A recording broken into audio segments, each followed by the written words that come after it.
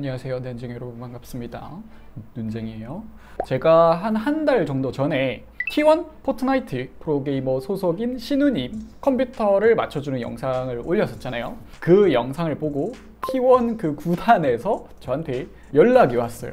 눈쟁이님 너무 영상을 잘 봤는데 이번에 T1 그 숙소를 옮긴다고 하셨었나?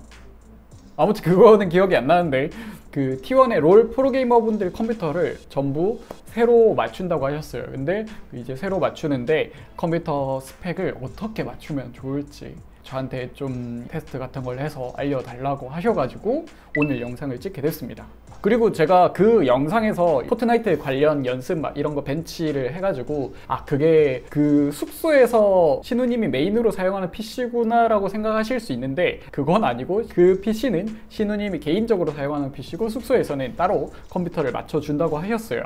아무튼 근데 T1이면 유명한 선수들이 많잖아요. 아, 제가 뭐 굳이 언급 안 해도 다 아실 거라고 생각합니다. 정말 정말 많아요.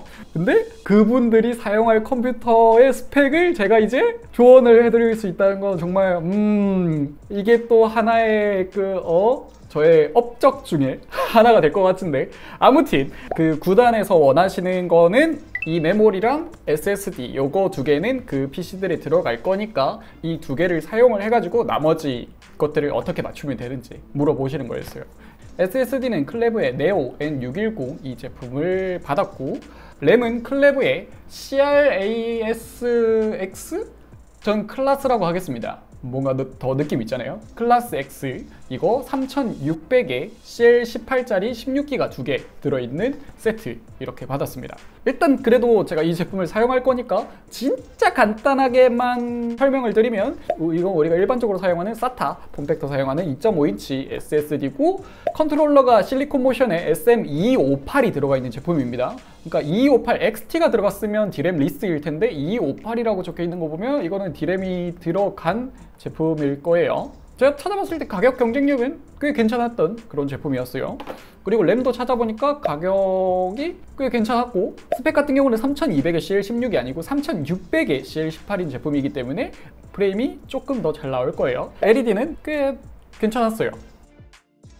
그래서 제가 이것들을 가지고 CPU나 그래픽카드를 어떻게 하면 좋을지 벤치마크를 해봤어요. 일단 리그 오브 레전드라는 게임은 인텔의 10세대 CPU 리뷰했을 때도 롤 벤치마크를 했지만 진입하는 장벽은 굉장히 저사양 게임인 건 맞지만 고프레임을 뽑으려면 생각보다 CPU나 램이 좋아야 돼요. 근데 거기서도 좀 타협점을 잡기 위해서 제가 1900K를 가지고 코어랑 스레드만 이렇게 까가지고 몇 코어 지원 게임인지 확인을 한번 해봤어요. 근데 6코 6스레드까지 내려가도 더 다코어로 갔을 때랑 프레임 차이가 뭐 거의 없는 수준이었고 4코 4스레드까지 내려갔을 때 프레임 차이가 조금 생기긴 했는데 그래도 이 정도면 5% 이내 차이기 때문에 크게 의미는 없는 수준이었어요. 하지만 멀티스레드 기능을 켰을 경우에는 멀티스레드를 안 켰을 때에 비해서 프레임이 조금 더 떨어지는 모습을 보였어요. 이거는 좀 유의미할 정도로 프레임 차이가 났기 때문에 뭐 6코 12스레드 이런 게 된다면 그냥 아예 멀티스레드 기능을 끄고 6코 6스레드 이렇게 활용을 하는 게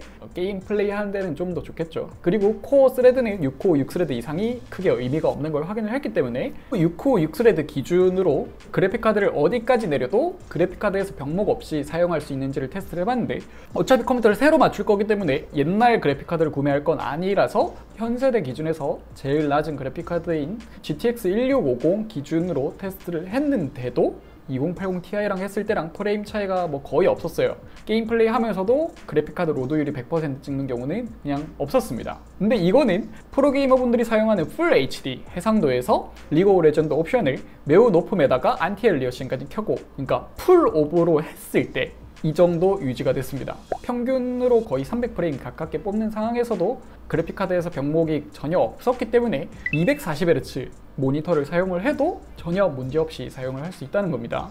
그리고 나서 지금 메모리 테스트 했던 거는 제가 가지고 있는 다른 메모리로 4400에 CL17 그러니까 보통 평범하게는 사용하지 않는 최고 수준으로 램오버를 땡기고 그러니까 램에서는 병목이 거의 없게 세팅한 상태로 테스트를 한 값이고 실제로 숙소에 들어갈 램은 지금 보내준 이 램을 사용을 할 거기 때문에 이 램으로 바꾸고 프레임 차이가 어느 정도 나는지 테스트 해보니까 제가 생각했을 때는 프레임 차이가 좀 많이 날 거라고 생각했는데 프레임 차이가 10%도 안 났습니다. 제가 왜 프레임 차이가 많이 날 거라고 생각했냐면 배틀그라운드 같은 경우는 지금 이 정도 수준으로 램오버가 돼 있는 거랑 지금 롤 하는데 테스트한 이렇게 바짝 당긴 거랑 프레임 차이가 많으면 막 20%, 30%까지 차이 나는 경우도 있기 때문에 그래도 롤도 이렇게 고프레임 가면 그 정도 차이 나지 않을까 했는데 그렇게까지 차이가 안 난 거예요. 참고로 제가 4,400까지 땡긴 이 램 가격은 8기가짜리 두 개가 한 70만 원 합니다. 아시겠죠? 네.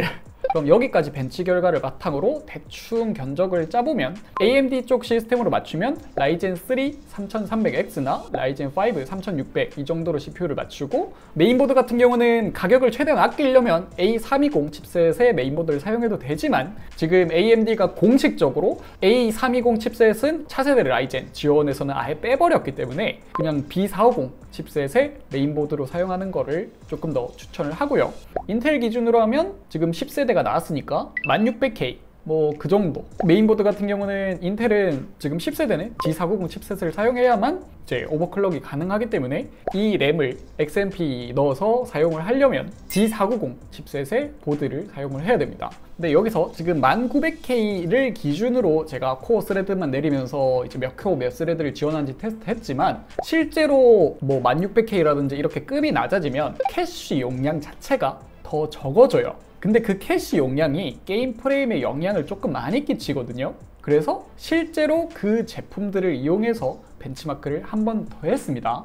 근데 저희 집에 지금 말했던 부품들이 대부분 있기는 한데 문제가 있는 게 지금 3600 같은 경우는 여기 끝부분에 보시면 핀이 하나 부셔졌어요. 근데 이게 핀이 부셔져도 컴퓨터가 작동을 하더라고요. 근데 메모리 채널 하나가 작동을 안 해요. 그래서 듀얼 채널로 벤치마크를 할 수가 없어가지고 저걸로는 벤치마크를 못했고 3300X는 없어요. 그래서 대신으로 3700X를 사용을 했습니다. 어쩔 수 없었어요. 그리고 인텔은 1400은 있는데 1600K는 없어가지고 1600K랑 성능이 거의 비슷한 전세대 CPU가 있습니다.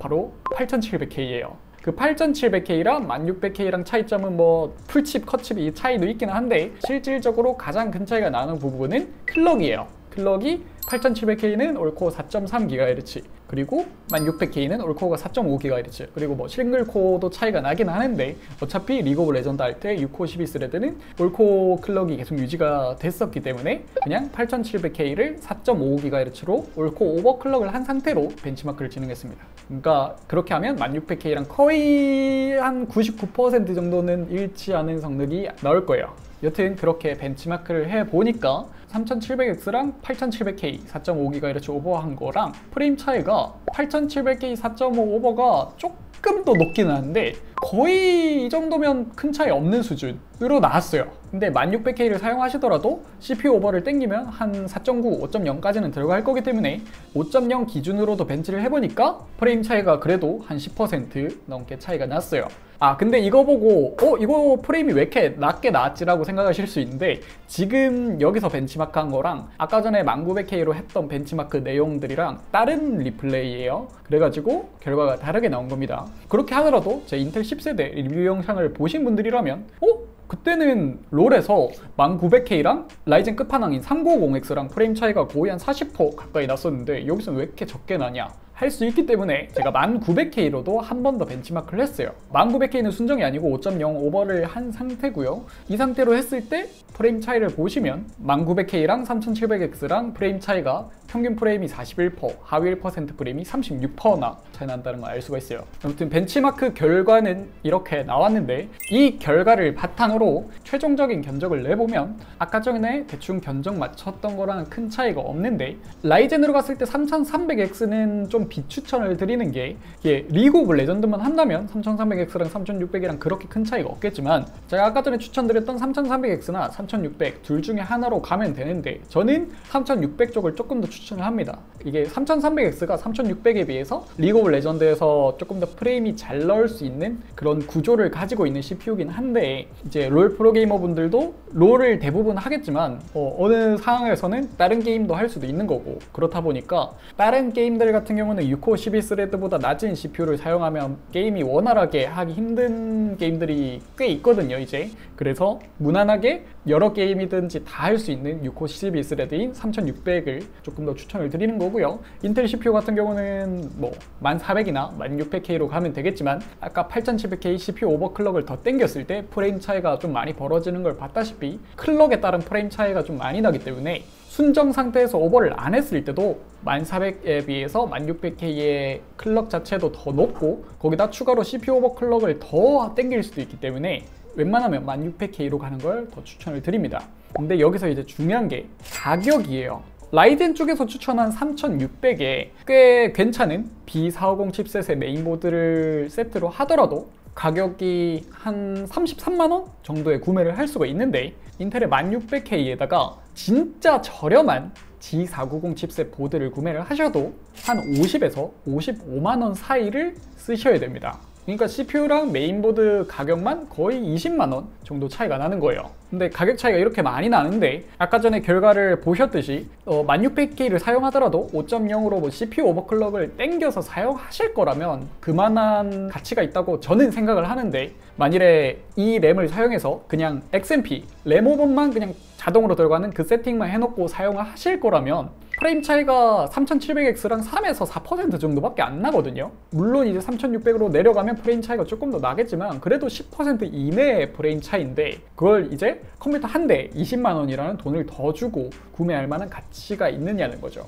그리고 돈 크게 상관 안 하시고 프레임이 정말 잘 나오게 맞추려면 CPU를 1900K로 맞추시면 되는데 이게 지금 출시되고 얼마 안 됐기도 하고 살려는 사람들도 많다 보니까 CPU의 가격이 정말 높아요. 근데 이 지금 이게 우리나라만 가격이 높은 게 아니고 전 세계적으로 가격이 다 높아요. 그러니까 수요에 비해서 공급이 딸린다는 소리겠죠. 근데 지금 뭐 다나와에서 그런 거지 일부 소매몰들에서 가격을 싸게 파는 곳들도 있어요. 제가 알고 있는 그 오버 시스템이라는 업체에서는 1900K는 75만 원에 판매를 하고 있습니다. 그러니까 충분히 더 찾아보시면 싸게 구매할 수 있는 업체가 있다라는 거예요.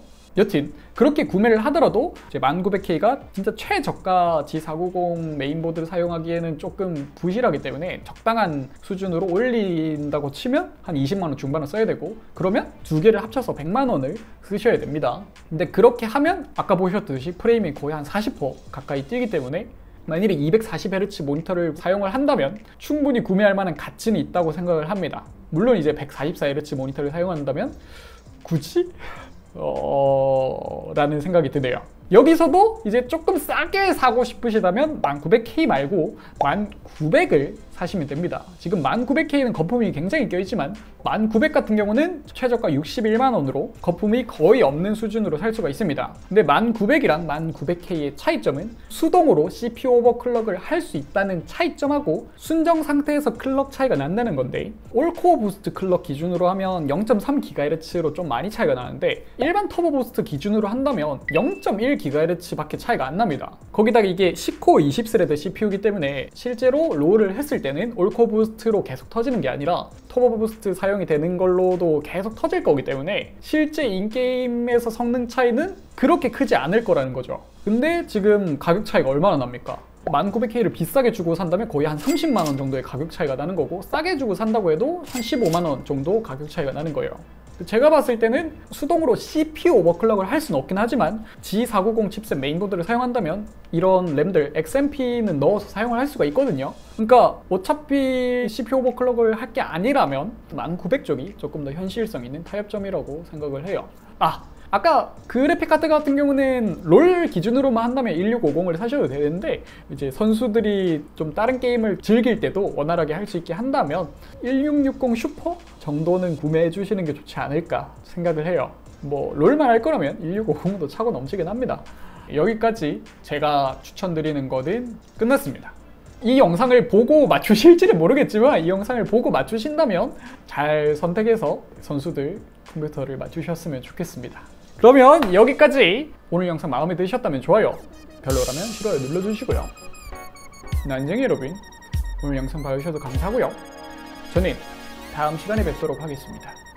그럼 모두 안녕